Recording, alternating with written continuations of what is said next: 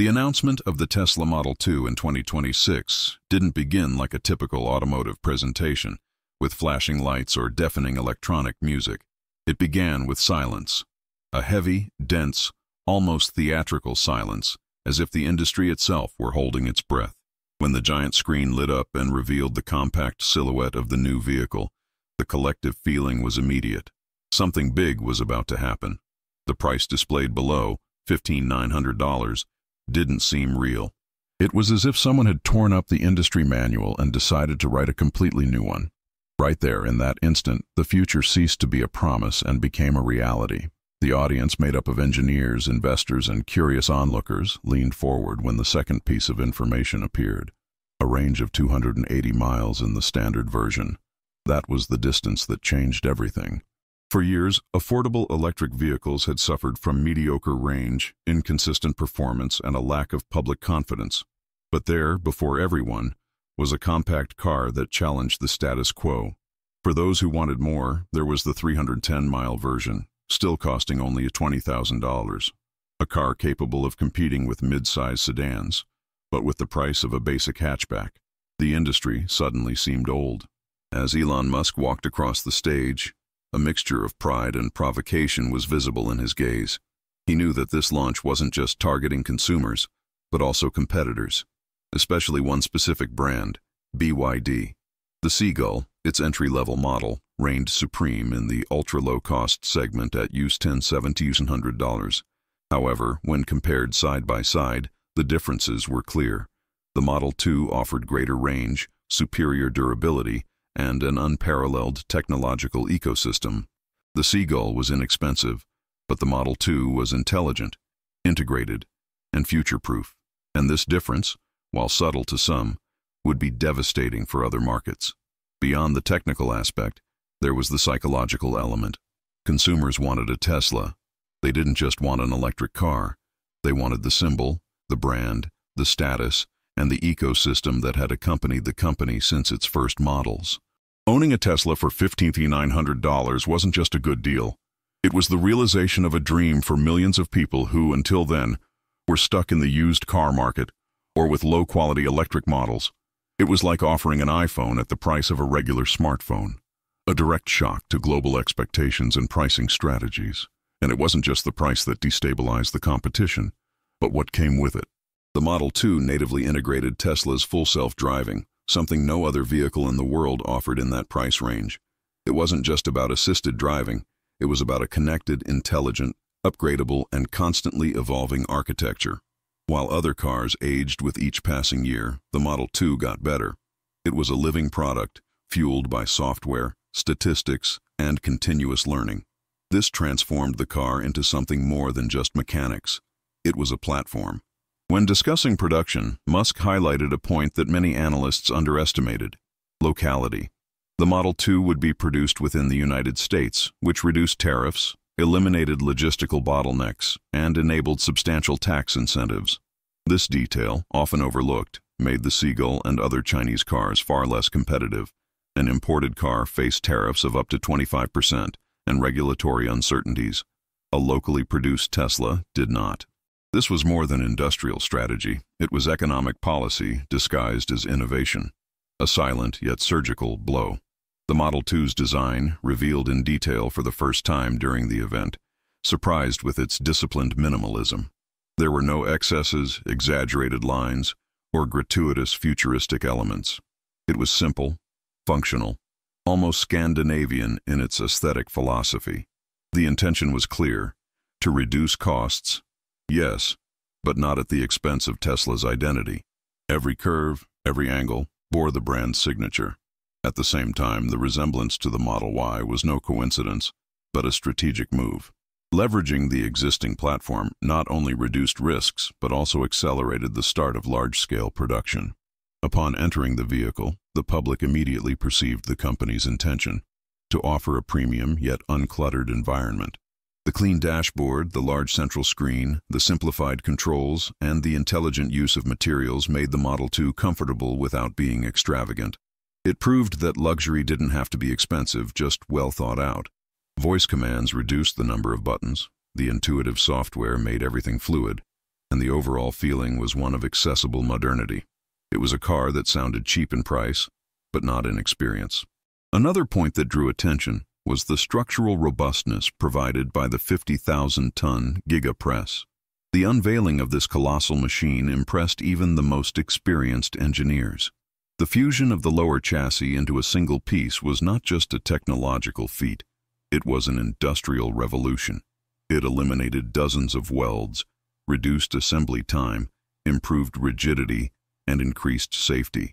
It was the kind of innovation you don't see, but you feel. For the consumer, this meant less vibration, greater comfort, and durability, never before seen in cars of this segment. Furthermore, the production capacity was almost surreal, 42 million potential units. For many, this number sounded exaggerated. For Tesla, it was simply a consequence of maximum automation and the modularity of the design. A car that was simple to assemble, with fewer parts and optimized processes, could be efficiently mass-produced. Musk wasn't just trying to launch a new model, he was trying to create the most manufactured electric car in history. For him, it was necessary. The world needed affordable EVs, and this was the answer. And then came the part that left even the most skeptical critics speechless. The performance. The Model 2 accelerated from 0 to 100 km/h in 5.6 seconds, an impressive number for an entry-level car. It delivered 300 horsepower with precision, smoothness, and almost no maintenance. Compared to other electric compacts, it seemed like a disguised sports car. And yet, it consumed only 15 kWh per 100 km. It was pure efficiency, translating into annual electricity savings and reduced environmental impact. It was as if Tesla had decided to prove that affordability and performance were not opposites. They were complementary. The choice of an asynchronous motor for the Model 2 was another point that surprised experts.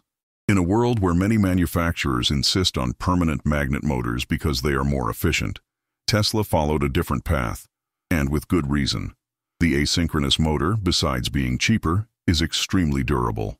Its estimated lifespan of 300,000 km meant two decades of use for an average driver. This made the Model 2 not only a cheap car to buy, but also cheap to maintain. In a market where maintenance costs scare many consumers, this decision had a powerful psychological impact. Innovation extended beyond the engine, reaching the vehicle's electric heart, its 48-volt architecture. Since the 1950s, the automotive industry had insisted on the 12-volt system, an antiquated standard that no longer matched the complexity of modern vehicles. Tesla, as always, broke with tradition. The new architecture reduced wiring weight by 15%, lowering production costs and facilitating repairs. Thermal management became more efficient, electrical consumption was better distributed, and the car gained more robustness. It was a small change in appearance, but gigantic in impact. By detailing the reduced use of silicon carbide, SiC, Musk highlighted Tesla's obsession with industrial efficiency. Reducing the use of such an expensive material by 75% without sacrificing performance was almost unbelievable. This allowed for strategic cost-cutting, keeping the car competitive even in high-demand scenarios. While many automakers struggled with tight margins, Tesla found ways to expand them without compromising quality. For industry analysts, this was one of the company's most dangerous advantages the ability to innovate where no one else was looking. In the strategic field, modularity was the key word. The Model 2 had been designed to easily adapt to various markets, from countries with advanced infrastructure to regions that were still taking their first steps in electrification.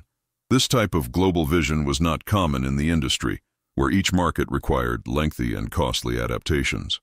Tesla, however, created a nearly universal product. This meant easier exports, simplified maintenance, and more aggressive international expansion. The Model 2 wasn't made for one country, it was made for the world. On the virtual stage of the event, when the first test images began to appear, the audience realized there was something magical about that car. It was small, yes, but it conveyed a sense of solidity and confidence. It seemed like a vehicle you would buy for your family, for your work, for your daily routine a car that could last for decades without losing relevance. This perception of longevity was rare in entry-level vehicles, known for depreciating quickly. The Model 2, on the other hand, was seen as a safe bet, an emotional, technological, and financial investment. Musk made a point of comparing the Model 2 to Chinese compact cars, especially the BYD Seagull. Although the competitor was cheaper, its build quality and durability left something to be desired. Many markets face difficulties with parts, after-sales service, and build quality. The Model 2, on the other hand, arrived with the strength of Tesla's entire structure. Superchargers, constant updates, a growing user base, and a reputation that inspired confidence. The battle was unfair. A brand with an ecosystem always wins against a brand without one. It was an implicit rule of the 21st century. When the topic of tariffs came into play, Tesla's advantage became even more evident. In the United States, imported cars faced tariffs of up to 25%, especially those coming from China. This caused the Seagull to completely lose its competitiveness when it reached Western markets. The Model 2, manufactured in the U.S., avoided these costs. This allowed Tesla to sell cheaper without sacrificing margins. It was a planned, almost surgical move that leveraged the existing legislation to its advantage. This strategy could shape the automotive landscape for years to come. The conservative design of the Model 2 generated heated discussions. Some fans expected a radical, futuristic, almost experimental aesthetic. However, Musk explained that too much boldness would compromise the main objective, accessibility. A car with extreme shapes would be more expensive to produce, more difficult to mass produce, and probably more difficult to repair. Minimalism, on the other hand, allowed for maximum efficiency. It was a silent beauty, an aesthetic that prioritized purpose over spectacle. Time would show that this choice had been wise. When the first pre-production units were seen in testing, the public reaction was immediate. Videos quickly went viral showing the car cornering, accelerating, and braking. The agility was surprising, the mechanical silence impressive, and the stability seemed to belong to cars in higher categories. Many viewers stated that it seemed impossible for such an inexpensive car to deliver so much. Comments multiplied, and anticipation for the start of sales increased explosively. Tesla had done it again, transforming a launch into a global event. The specialized media, which initially treated the Model 2 with skepticism, began to change its tone. Praiseworthy articles appeared daily, highlighting its realistic range, consistent performance, and embedded technology. In comparative analyses, the Model 2 easily defeated higher-priced rivals. Economists pointed out that the car could redefine standards for the entry-level market. Environmentalists celebrated the greater accessibility of electric mobility. And consumers finally felt part of a revolution. It was difficult to find a group that wasn't impacted. As analysts delved deeper into their technical assessments, one point stood out, the Model 2's energy efficiency. Consuming only 15 kilowatt per 100 kilometers, it surpassed the market average by 25%. This meant lower costs for the user and greater range with smaller, lighter batteries. It was as if Tesla had refined every aerodynamic, electronic, and mechanical detail to extract the maximum from every watt. In a sector where efficiency is synonymous with competitiveness, the Model 2 emerged as a new benchmark. It was the kind of advancement that changes standards, not just numbers. Experts also highlighted the estimated annual savings, just $112 in electricity. This figure seemed almost absurd when compared to fossil fuels or even other less efficient EVs. For low-income families, this difference could mean hundreds of dollars saved over the years. In communities where every penny counts, the Model 2's proposition gained even greater weight. It ceased to be a simple means of transportation and became a tool for economic inclusion, a car that truly changed lives. In the engineering lab, the acoustic demonstrations were captivating. The one-piece structure cast by GigaPress reduced vibrations to almost imperceptible levels. The car seemed to float above the asphalt, even on uneven surfaces. In entry-level vehicles, interior noise had always been seen as an inevitable evil, but the Model 2 broke that logic. It offered silence, firmness, and a feeling of solidity reminiscent of models in much higher categories. It was a reminder that cheap didn't have to mean inferior. The engineers proudly explained how the stiffer body also increased safety. In collisions, fewer weak points meant greater protection for the interior passenger compartment. This was especially important in compact cars, where every inch counts. For safety-conscious families, this was a decisive advantage and when preliminary tests indicated exceptional strength ratings, public confidence grew even further. Tesla had found the balance between economy, reliability, and safety. Another area that drew attention was the simplified maintenance. Thanks to the 48V architecture and the reduction of internal parts, many repairs became more practical and cheaper. Authorized workshops could diagnose and correct problems in less time. And since much of the car was software updatable, many adjustments came automatically, at no additional cost to the owner. In a world accustomed to expensive and time-consuming servicing, the Model 2 offered unexpected relief. It was like having a vehicle that took care of itself, anticipating needs before they became real problems. The impact of the planned colossal production also had global repercussions. With the potential to manufacture up to 42 million units, Tesla became not just a car manufacturer, but a global industrial powerhouse. This volume allowed for cost dilution, guaranteed price stability, and a rapid response to demand. The highly automated factories functioned like silent armies of robots, building cars with millimeter precision. For the competition, it was like watching a new manufacturing standard emerge before their very eyes. And this standard would not be easy to achieve. As new details emerged, experts realized that the Model 2 wasn't just a product. It was a long-term strategy. It served as a gateway for millions of customers into the Tesla ecosystem, once inside, users could migrate to more expensive models, contract additional services, upgrade their FSD, or utilize the company's exclusive infrastructure. It was a carefully constructed virtuous circle, and this platform mentality, inspired by the technology industry, gave Tesla an advantage that traditional automakers simply didn't have.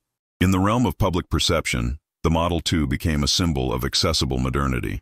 On social media, it was discussed as the possible car, the vehicle that would finally bring electrification within reach of the global middle class.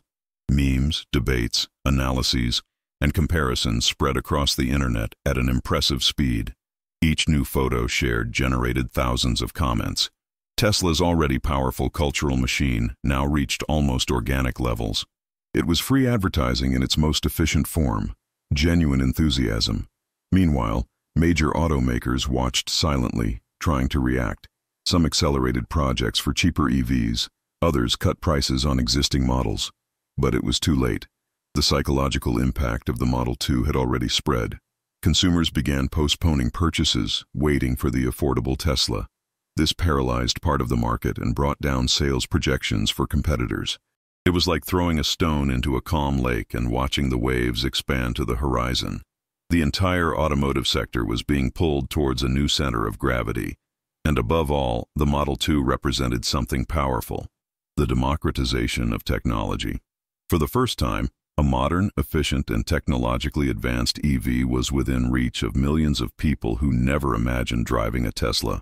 It wasn't a distant aspirational car. It was a real, achievable, and accessible car. The future was no longer reserved for the wealthy or the most fortunate. It was reaching the hands of workers, students, and ordinary families. It was a historic and emotional shift, a watershed moment in the collective imagination.